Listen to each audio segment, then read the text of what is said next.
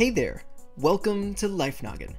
Every year, there are over 370,000 drowning deaths worldwide, with children under 5 being the most at risk. And with all the drowning deaths you see in movies and TV, it's no wonder that people are afraid of dying that way. But what's actually going on during that process? Well, firstly, drowning isn't like how you see it in the movies. There's not a lot of thrashing around or yells for help. Typically, it's a silent act, where the person's mouth sinks below the surface of the water and then reappears as they try to breathe. Once they can no longer hold their initial breath and start to hyperventilate, they might aspirate water, triggering something called a laryngospasm. This is where the person's vocal cords spasm, blocking their airways and protecting their lungs. However, it also inconveniently makes yelling for help significantly harder to do. Since the person can't take in any fresh air, their oxygen supply starts to fall, potentially leading to a condition called hypoxia. This is where there's not enough oxygen reaching the body's tissues, and eventually, as the person becomes unconscious, there's a relaxation of their airway, allowing their lungs to fill with water. Depending on how long the person has gone without air, varying levels of damage can occur. For example, a 2013 study found that the likelihood of surviving with little to no brain damage was very low after being submerged for 10 minutes or more. The lack of oxygen can also lead to cardiac arrest, so basically what I'm saying is that drowning is absolutely terrifying, so please wear your life jackets, kids.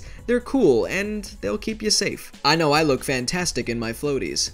On top of all of that, if the person is in really cold water, there's also the fear of hypothermia, where the core body temperature falls below 35 degrees Celsius. When hypothermia sets in, it'll cause the body to start shivering intensely, and the person might act clumsy or confused. Their bodies slow down, including their respiration, heart, and metabolic rates, and eventually they might lose consciousness and even die. Let's all take a moment to mourn the loss of Jack from Titanic, but come on, there was seriously enough room on that door for him too.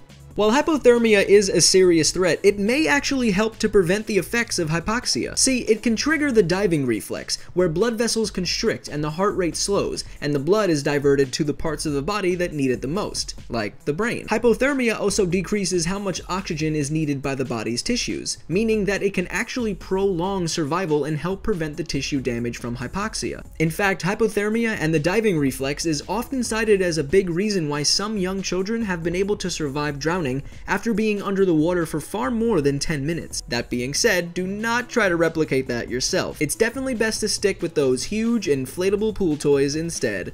I call dibs on the flamingo.